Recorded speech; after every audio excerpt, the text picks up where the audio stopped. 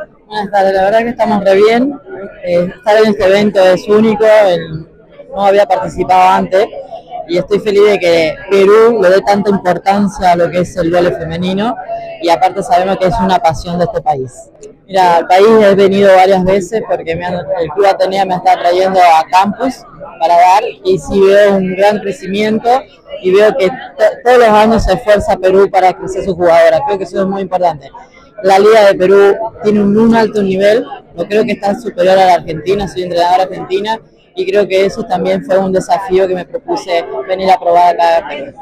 Mira, el objetivo del club ah, es mantener la categoría, pero nosotros estamos trabajando por algo más.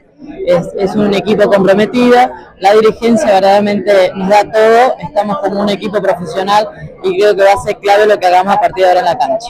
Mira, veo que cada día tenemos más seguidores, creo que es muy importante que los clubes cuenten con esa barra, con ese acompañamiento del público y creo que Atenea está haciendo muy bien eso. Creo que para la chica y para mí va a ser muy interesante lo que vamos a vivir este sábado y agradecer a la dirigencia porque están en todo, la verdad que están en todo con nosotros.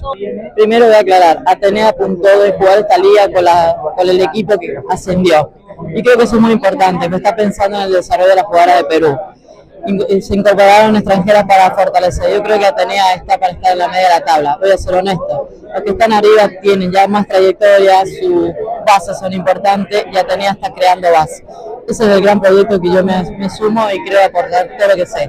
La verdad que creo que Atenea va a dar muchas sorpresas y esperemos estar lo más alto posible. Mira, yo invito a toda la gente que nos acompañe, porque la verdad siempre hablamos que el séptimo jugador es la hinchada. A veces se ganan por esa hinchada que está ahí por todo el tiempo alentándote para que no te caiga.